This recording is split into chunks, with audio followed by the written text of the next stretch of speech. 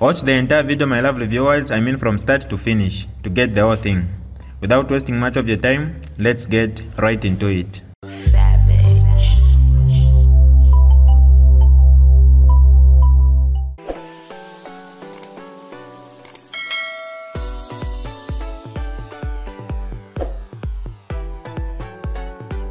Hi lovely viewers, it's me again your one and only Mtati Mpundu.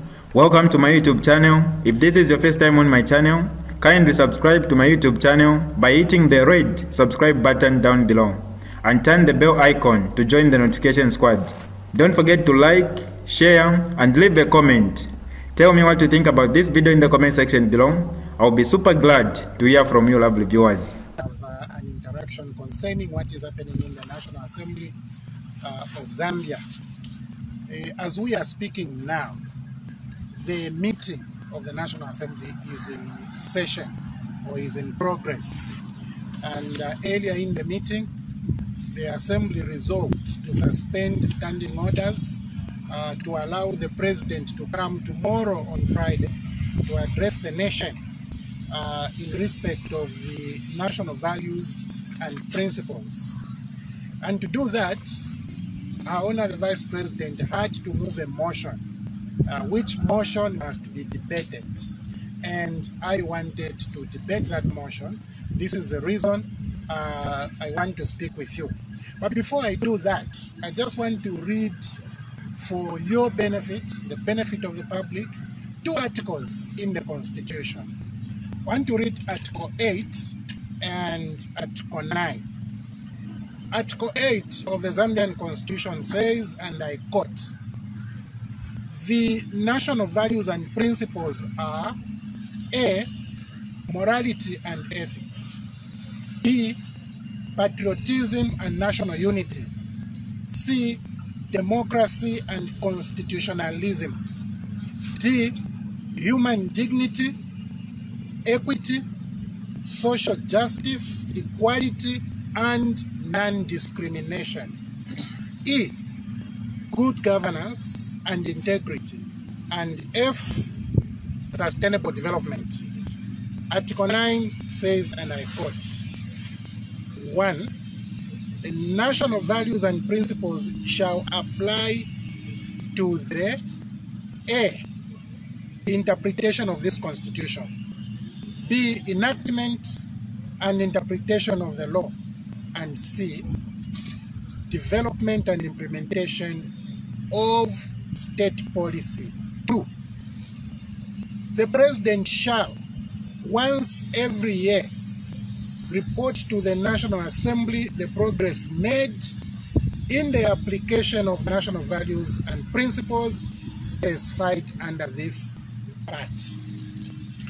Now, tomorrow, as the president comes, it has to be clear it is not his initiative. It is not the UPND government's initiative. It is the initiative of the expression of the Zambian people through the constitution who are compelling him to come and report how he has fared in terms of applying national values and principles in the developmental agenda of our nation. This is why this uh, afternoon, as our honor brought the motion, we, the representatives of the people, should be allowed to debate the motion. And I was stopped from debating the motion. I have to share with you that uh, there is a way in which we indicate to tender discourse on the floor of the House. Uh, sometimes we use Bosch, at other times we use e-chamber. Today, I was the only one, one member of parliament from Lunte, who indicated to speak to this motion. And the speaker decided not to accord me the opportunity to talk. Instead, she began to look for a member and created a constituency uh, in Copper Belt by calling somebody by the, the constituency of Kanta, Kansenshi, when in fact this member is an MP for Kantanshi. And anyway, uh, my honorable colleague, the MP for Kantanshi, spoke there. So I will speak here what I intended to speak there on the floor of the House. This is the reason I'm very happy that uh, you could come. And these are my copious notes, which I had in the House. Uh, they are the ones I'm going to use uh, to speak to the Zambian people uh, exactly what I intended to speak in the House. As the president comes tomorrow, I want to come and see how he is going to link the high cost of living to human dignity because it is a requirement of the constitution that the president must come and speak how he has applied uh, his policies or should I say how human dignity has been considered in the development of the nation. So I'll be looking for the president's uh, linkage of high cost of living, minimum 400 kwacha, electricity very expensive, and load shedding on top of expensive electricity. How is the president going to link that to human dignity? Eight hours of load shedding that the Zambian people are suffering. I want to see how that links to patriotism. Particularly if the president, if it is true what we have heard that ZESCO has been exporting power. So I want to know power you are not shedding the Zambian people and you are exporting power. And I want government to deny that they are not exporting power. Today the minister was on the floor of the house tendering a ministerial statement. He never spoke about the export of power. He's talking about importing of power. So I am challenging government to state whether ZESCO is exporting power or not so that we can now link properly uh, patriotism and these actions of government. I want the president to come and indicate the refusal by the police to clear office bearers of UCA so that UCA can be registered. How that refusal is actually being linked to democracy because uh, I just read the pillars. Democracy is one of those national values that the president will be talking about tomorrow.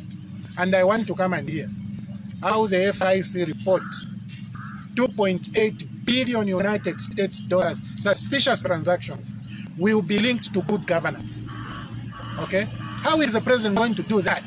To link those issues, uh, I think that he will suffer. Yesterday, somewhere I said the president will really suffer tomorrow. Uh, he will suffer. To link these matters, 10% that lawyers are fighting for in Ministry of Justice of a procurement uh, in the Ministry of uh, Health. Lawyers are fighting for 10% commission. They take each other to SEC.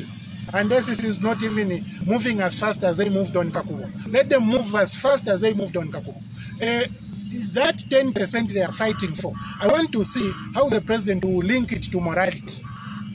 Okay? In his government. Those are in his government, right? I want to see how the president will link that to morality in the UPND government. Uh, elsewhere, I talked about government giving away money. You know, like, kupela fye mopani bapela eh ni banani oh bakunze basungu okay bapeleni because they disposed of a controlling stake 51% shares without receiving any consideration what type of a government is this? What type of people's representatives are this you go and sell a national asset for nothing. You understand? So now i want to see how this will be linked to uh, sustainable development. Because sustainable development is a big issue that the president will be talking about. You know i have heard of a report uh, from uh, the uh, public protector uh, which report I, I read from one newspaper article that it has been hidden. In the assembly it has brought it, it has been sat on. It has been also offered to uh, the executive the executive is pushing for it never to be released. So i want that issue to see how it will be linked to integrity. Hiding reports telling people if you abantu uh, if you abantu don't tell the people that uh, we are practicing nepotism don't tell people that we are practicing uh, regionalism. Don't tell people that we are uh, we are practicing you know cleansing. Don't hide this report. So i want to see how you are going to link that to integrity in your own government. And uh, finally i want to see how the president will link the composition of chief executive officers and directors and parastatals to national unity. Because as far as I'm concerned, when you look at those people, what you are seeing is national division. I I am expectant tomorrow. Uh, I, I have heard somewhere uh, people are saying he should postpone because it will be difficult for him uh, to to do a good job. But I'm expectant tomorrow because I'm interested in these matters. Uh, this is the second time I'm raising these matters. I could have raised them on the floor of the House, but I was stopped. I was denied an opportunity by the Speaker uh, of the National Assembly. But it is good that the media is here and uh, I have been able to establish my issues. Uh, and this is what I will do always. When I'm stopped from tendering discourse, I will find the media, at least one or two media houses, to go and uh, tell the people uh, what I have in representation of the people of Lunte. Thank you so much. Of course, in, in keeping with tradition, I think the, the leader of opposition is going to sum up after uh, my very brief contribution. Mine is, is very, very brief. Uh, I've just been prompted to also make a statement concerning how we are exploiting or how we intend to continue exploiting, you know, mining and developing our mineral resource. I have always argued that, uh, you know, minerals are an aspect of our sovereignty. You heard the Honorable Kafwaya has mentioned the confusion surrounding the investment in Mopani uh, mine. There is also another confusion that has marred the investment in KCM by, by Vedanta. If you saw the dispatch today by Vedanta, they have actually extended the time of resumption of operations at KCM. And they have given a myriad of reasons, some of the, most of which are not even convincing. But one that is very convincing is that this company out there where it operates, it is insolvent and it is going into what are called schemes of arrangement with its creditors.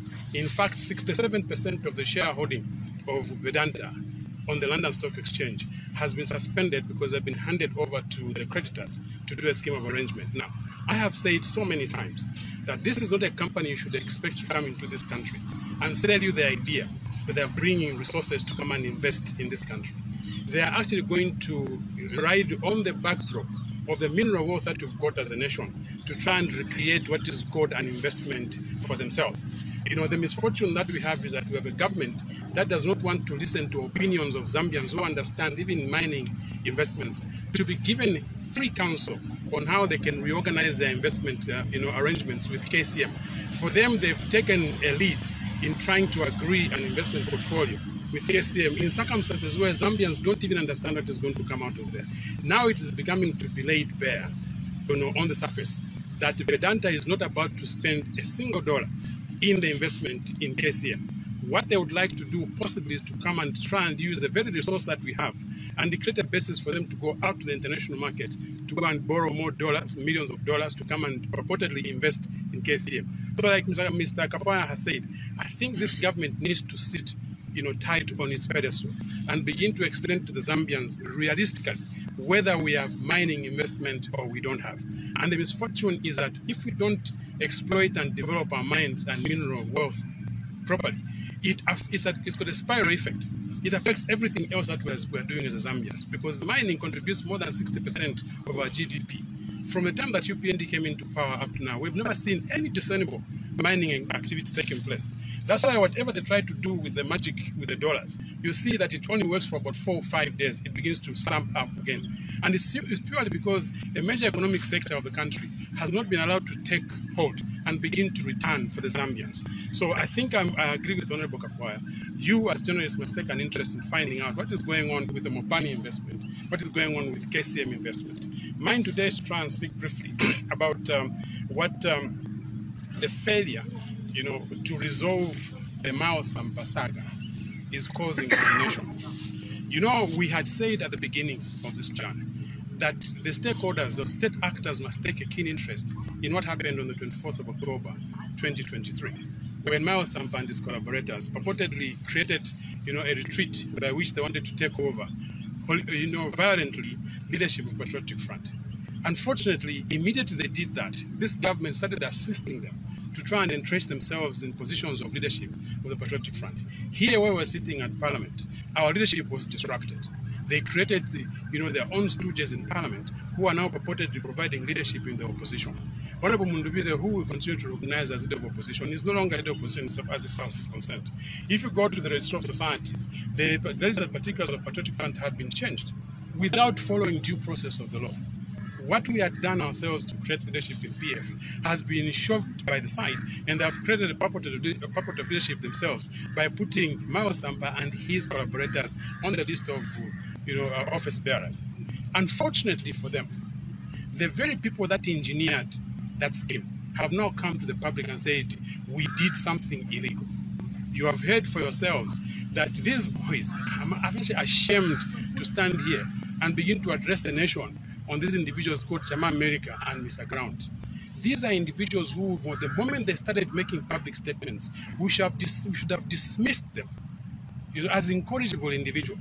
But unfortunately, they, they were allowed to scheme something that the UPND had sponsored. And the UPND grabbed it like a relay and made it their own program. These young boys now have come to the public and have made it very, very clear that they were sponsored to go and do what they were doing. Of course, out of threat, out of fear of being victimized by the UPND, they are trying to distance the UPND from what they did. But every Zambian who has been able to observe what is going on knows that those boys could never have done what they did without being pushed by the UPND. But they have now made very, you know, frightening disclosures of how they tried to skim you know, the stealing of the leadership of the Patriotic Front. A decent government, led by a decent president, would put themselves in check when such information becomes available to the surface. And in agreeing with Honorable Kafwaya, the president will have difficulties now trying to create, you know, a story that UPND still have, have a moral bearing to lead this nation. Their moral right to lead this nation has collapsed with what has been revealed by Mr. Brown, Mr. Ground, and the Chama America. Those young boys have admitted committing criminality. We have filed complaints against them in police. We have filed complaints against Miles Sampa in police. The police have instructions not to arrest these individuals. So it is up to the Zambians now to begin to make judgment of who is right and who is wrong between the UPND and government and the Patriotic Front, which has religiously ensured we comply with the law. We've been complying with the law by taking these cases to court. We have challenged the judicature to decide or deliberate on these matters and give us decisions that are going to guide what we're going to do going forward. Interestingly, yesterday, the, the last couple of days, to the last two days, you've heard Miles Sampa, who, in continuing to gallop you know, on the on the democratic space, has made decisions through his Secretary General purportedly to expel or to accept, not even to expel, but to accept the resignation of two members of parliament for the Patriotic Front from this house. They have written a letter to the speaker saying that Honorable Kasandwe for Bangweulu constituency and Honorable Melesiana Phiri for Milanzi constituency have resigned. This speaker here in this office is not sitting with any letter of resignation from both these members of parliament. But there's a letter written, you know, guardedly by somebody who is a Secretary General for Miles Sampa's, you know, um, collaborators to the speaker saying these individuals have, have resigned and have accepted the resignation. We knew there was going to be a showdown. We knew there was going to be drama going by what transpired in the past. So he, as a party that again complies with the law, we did the only thing we could possibly do because we respect the rule of law. We have gone to court on behalf of these two individuals. We have taken action against Mr. Sampa. We have taken action against Mr. Ngona for this decision that I've made to purportedly expel people over whom they've got no powers to preside. It remains to be seen you know, whether the judiciary is going to rise to this occasion. You see, we are now clogging the courts with court cases. And this is happening because the people who are actually wrongdoers, the people who are actually uh, causing us to become victims of, you know, uh, uh, of mudslinging in the political party, have been embraced by this government. They have been given protection. If you go around where Miles Sampa is right now, he's got police protection. If you go around where Mr. Chawinga is right now, he's got police protection. I think even Ngona also has got this, That's the only way they can do what they're doing. So we are now headed for a showdown as a nation, where if the judiciary is not going to help this country to resolve this problem, which is now beginning to blow up, because it started a small problem, they didn't resolve it. It has now been growing. It's, it threatens to engulf almost everybody the supporters of Patriotic Front are watching this with, you know, that the demands of justice, that justice of this case demands. But we are very, very expectant. that everything that is going to happen is going to happen in accordance with the rule of law. Thank you. Thank you very much. Thank you. Thank you, Honorable um, Chisanga, by our checks and balances, uh, how highlight or indeed debate the motions that uh, will come uh, before us. Uh, Honorable Kafwaya, on behalf of the PF members of Parliament, uh, was uh, uh, tasked to bring out issues, the issues that he had discussed comprehensively on radio yesterday on 5FM, especially that uh, those issues would relate to what the president was talking about. Uh, disappointingly and without shame, the presiding officer ignored Honorable uh. Is Honorable Kafwaya's right to speak on the floor of the House. It's his constitutional right to represent the people of Zambia and the people of Lunte. But we, the misfortune that uh, we face today is that presiding officers actually think they're the alpha and the omega in that house. And they believe that um, uh, based on what they're agreeing with the executive, they believe they're going to silence the opposition in that house. Uh, I wish to say this, uh, especially to Madam Speaker. The past couple of weeks, we've just been watching in silence the conduct of business on the floor of the House. And we've come to the realization that uh, there will be no amount of persuasion, no amount of negotiation that will cause Madam Speaker and other uh, presiding officers to give members of the opposition chance to do that which they were elected for. So we are now announcing to you, Madam Speaker, that um, we will not allow ourselves to be packed away, yet our members sent us to Parliament to debate. We are saying we will come back to the House. We have agreed on certain strategies to ensure that if the freedom to speak cannot be given to us freely, we will use force to get that freedom. Because even the Bible says, eh, for the people of God suffered pers- persecution, therefore the violent shall take it by force. And we will call we will implement that particular biblical uh, verse to proclaim and claim our freedom in the house. Um, it's very, very important. Uh, uh, I think we've said this time and again to the nation, countrymen and women. It's not just about talking. Our talking in parliament, or the lack of it, is what has caused the problems that we face today. Today we are in problems because your members, like uh, Honorable Kafwaya, who would stand on the floor and speak fiercely, Honorable George Sanga, who come and speak on behalf of the people of uh, Lukashya, can no longer speak. As long as the presiding officer, if the speaker is uncomfortable with what you're going to say, or she suspects you may not be a praise singer, you'll not be given a chance. So it's very, very unfortunate, uh, countrymen and women. And I want to commend you, the media. You've always been on hand. We've been able to project certain messages to our people because you are there. Uh, but like I said, we'll get back to that house. Uh, we'll not say when. And ensure that we violently uh, claim for the freedom that we should have on the floor of house. Now, um, those that took time to read a letter that was authored by Osida uh, should be very concerned because that letter uh, cited the three heads of our three arms of government, being the executive, where President Hakainde Hichilema was cited, the legislature, where uh, Madam Nelly Mutti was cited, the judiciary, where uh, State Counsel Chief Justice Malila was cited, uh, requesting the US to consider sanctions on these three individuals. The letter went further to cite the uh, commissioner for uh, the electoral commission of Zambia.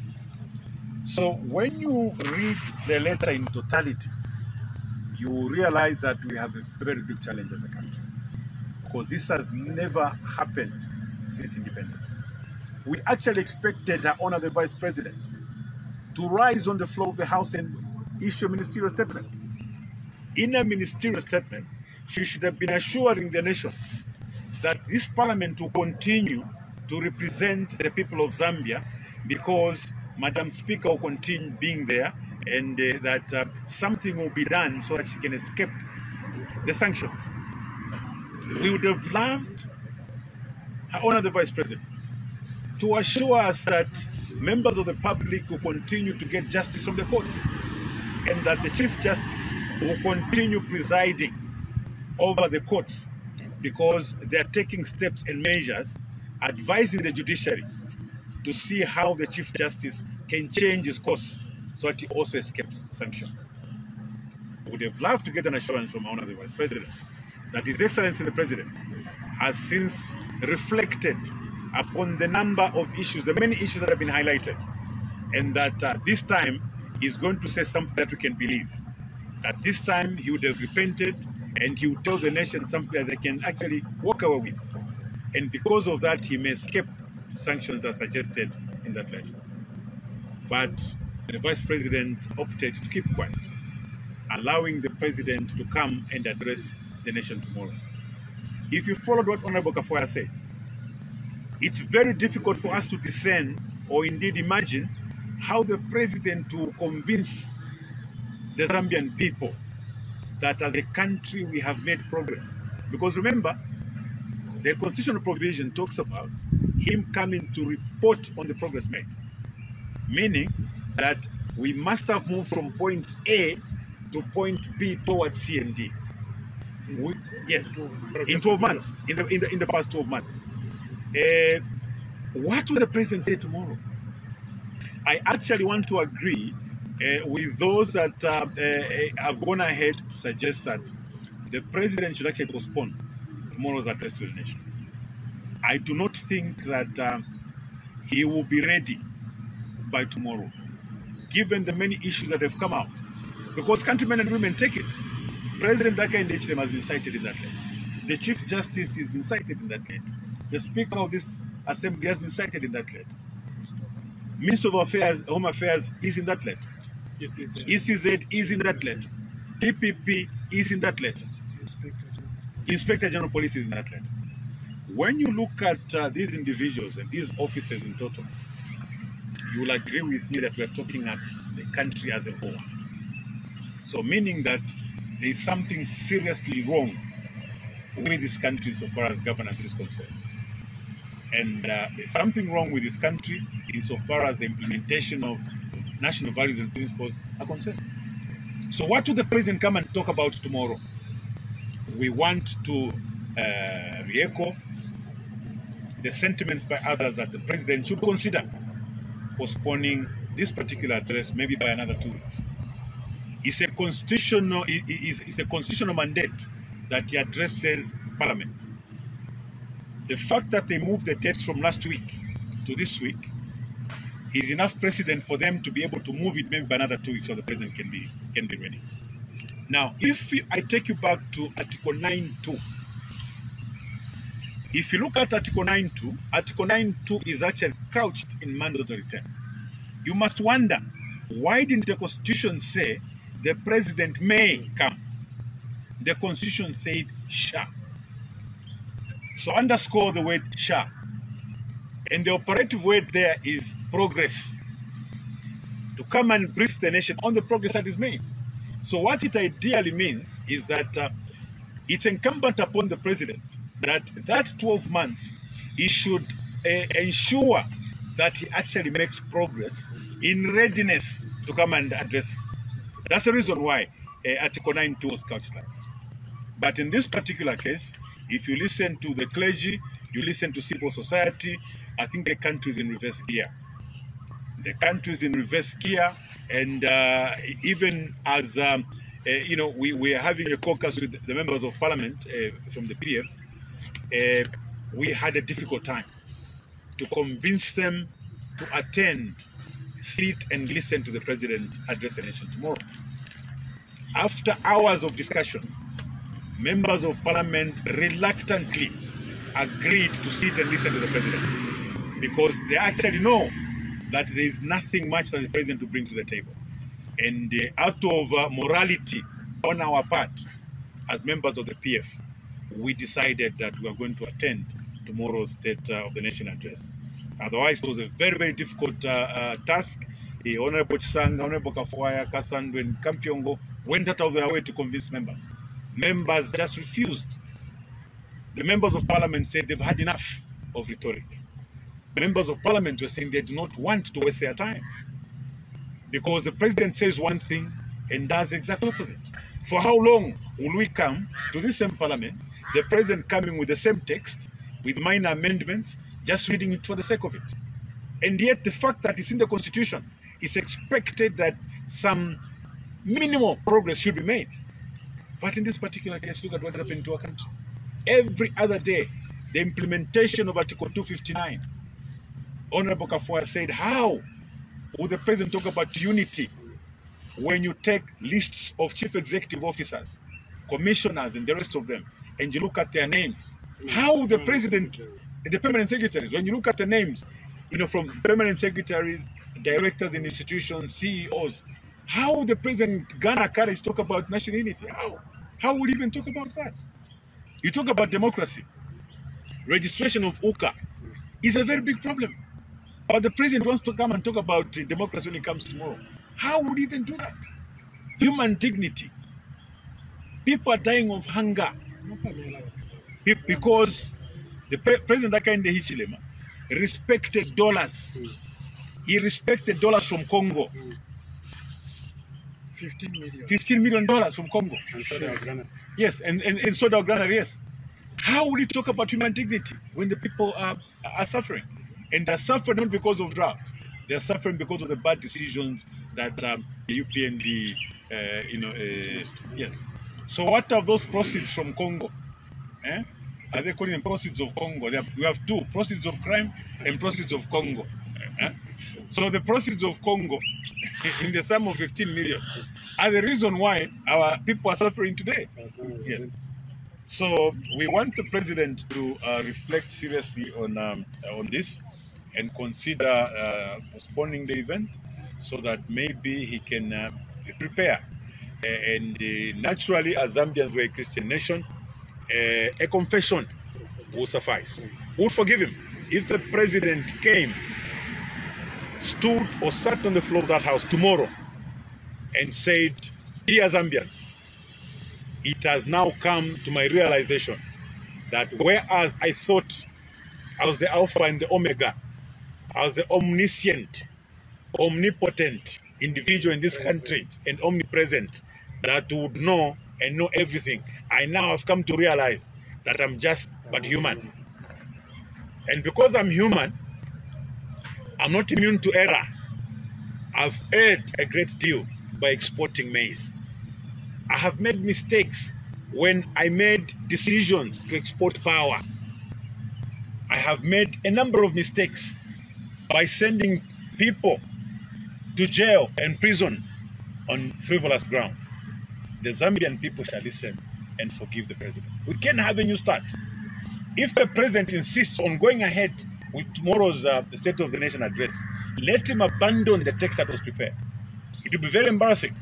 Read the letter from Osida. The letter from Osida, when you unpackage it, it doesn't matter whether one does not like the authors of that letter. Focus on the content. Hate the messenger, but focus on the message. That text that is in that letter resonates with every other Zambian that I know. We've spoken to a number of people, and a number of people agreed. So, if the president insists that you go ahead with the State of the Nation address, we want to request His Excellency the President, let him abandon the text that was prepared by the technocrats. Proceed and uh, uh, tender an apology to the Zambian people. Ask for a fresh start, a new start, a start that will be devoid of lies and fake promises. A start or a new beginning that will focus on telling the truth. A new beginning that will bring about a true national unity. A new beginning that will bring to an end the paging that is going on in the ministries. A new beginning. A new beginning that will not be focused on people's names before they can be given opportunities. It should be a new beginning that will speak to the true one Zambia, one nation. That is the minimum I would expect from His Excellency the President tomorrow as he comes. if he insists on going ahead with his uh, with address. Yeah. So, colleagues, I, I just thought that um, it was very important. We were very disturbed. Honorable Kafwaya was our envoy today. He was our ambassador. He was a PF ambassador to deliver a message. We all stood down so that he delivered that message. So the voice of the Patriotic Front uh, Party was suppressed by Madam Speaker's decision. But how can that be? How can we, the entire nation, collapse? You know, because Madam Nelly Mutti said so. So we all must bow and say, okay, it's done. No, that can't happen. It will not happen.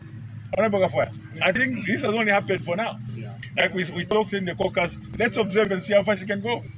Before you conclude, Yes, the leader of opposition, I just wanted to make my own recommendation yes. To the president. Uh, for me, I have only two options to offer. First, if the president is going to come tomorrow, uh, I, I've heard the, the postponement proposals, uh, it's, they are becoming louder. But if he does decide to come, one, he should come with his conscience, full consciousness. Come to the house and just come and say, I have made no progress in the past four Oh, yeah. months. But that's fair enough. That's, that's fair That's enough. uh, recommendation number one. Secondly, he can decide to leave his conscience at State House or at the, the so-called community house and come to the house without a conscience. He can just come and say whatever he wants. Those are my two recommendations. Read the text. He can come and read the, or say whatever he wants because the conscience will have been left where? Kuria? Yeah. They will have no problem. Yeah. Thank you so much. Please, uh, you are concluding. Sorry, Yes. No, no, no. I, I, I- just thought that uh, I, want to assure you, uh, and through you, uh, all members of parliament from the PF, that um, uh, Madam Speaker and the other presiding officers have got to reflect upon their actions. They should understand that, um, firstly, the component on matters of urgent public importance is a very important component. And uh, it's not up to one individual to decide that I'll choose who I want. They're representatives. You know, we must, uh, when we've come up with a system, we have a Bosch system, first come, uh, first serve. Why should, uh, because the speaker does not like you, Kafwaya, okay, uh, she does not like how you represent the people of that it's not up to her to pick who should. And that's the reason why today we have a shortage of mealie meal and maize. Because the presiding officers were choosing those that were praising them. And today we have no medicines in hospitals. Today we have no maize. Today we have no power. Had the speaker been allowing people that were truly representing the people, those problems would been cured. And I want the presiding officer to take full responsibility of what's happening today. Okay? We cannot even shy away uh, uh, you know, from that. The presiding officers of this parliament must take responsibility for the mealie meal shortage today, for the maize shortages today, for the export of power today, for the exchange rate today, for the medicines today, because of that behavior. The behavior of not allowing Honorable Kafwaya, Honorable Chisanga, and everybody else to express themselves. keep government in check. Keep government in check. We all can't be praise singers. They should. They have a reason why they're praise singers. For goodness sake, we are here to represent the Zambian people. So presiding officers of the Zambian parliament must take full responsibility. No wonder they are in every letter, every letter that is written, when somebody is complaining about the executive, the legislature has to be there. Mm. I mean, what kind of system are we running? Why should the three organs of the state should all be lumped together? Now, this is very, very unfortunate. It's unheard of. It's either citing the judiciary separately or citing the executive separately and the legislature. In this particular case, there's a golden thread where they're all cited in one transaction. It's very, unfortunate. As a country, we must be concerned. We look forward to a judiciary that will be radical in its own way. There is what you call judicial radicalism. It's there. There is judicial radicalism where the judiciary senses that there's something wrong with the executive. But we need to change the course and chart a new course. The judges, the judiciary begin to make judgments in a manner that will redeem a country. Send a message. Yes. There is judicial activism, judicial uh, radicalism. So, if our current judicial system cannot even resolve straightforward, straightforward matters like the Honorable uh, Miles Sampa saga, then every Zambian should be worried. It's actually a shame that um, our Chief Justice could be cited for sanction. And yet that's where we are all are supposed to be running. Sanctuary. It's a sanctuary for us all. But where we're supposed to be running, the man at the helm of the institution that is cited in the letter for sanctions. Yeah, so uh, I, I believe, like my colleagues have said, I think uh, our leaders should have a conscience. Uh, the heads of the judiciary, the head of the legislature, and the executive. They should not take the text in the letter authored by Osida lightly. I think they've raised a number of issues, and that letter has gone viral. It's on the international platform. Uh, we can try to hide, as State Counsel Safiwa says, you can behave like little children, put your hands on your face and hide behind your fingers and believe nobody can see you. But I think as a country, it's high time that uh, we came clean and accepted that uh, something is wrong and something must be done. We must begin and have a new beginning. We have requested the president to come and tender his apology on the floor of the House eh, for the many things that have happened in this very short space of time. We can have a new beginning. We can actually, you know, eh, take this country to higher heights if we started, uh, you know, uh, that way. Uh, so, colleagues, uh, thank you once again, uh, you know, for having shown up at short notice. And Honorable Kafwaya, I hope that uh, you've been able to, to, to, to tell yeah, the yeah. people what I should have told them. That's right. Uh, on the platform. And- And I must also commend you, Honorable. Um, ordinarily, with what happened, that normally has angered members of parliament. You know, we, we- have seen members of parliament misconduct themselves because of being suppressed. I must commend you. Uh, You remained very cool. And I was worried. And, you know, I said, my goodness, my Lunte brother now, who he would turn parliament upside down because of this injustice. But once again, I mean, I can only, I can only thank you for your, for, for, for your, for your demeanor. You know, thanks. Thank you, guys. Thank you. This is DJ Mutati exclusive. Alright, that's all for you today, lovely viewers. If you did enjoy the video, please don't forget to leave a comment in the comment section below. Tell me what you think about the video you just watched in the comment section below. I'll be super glad to hear from you, lovely viewers. Once again, I go by the name of Mutati Mpundu. I love you, peace, I gotta go.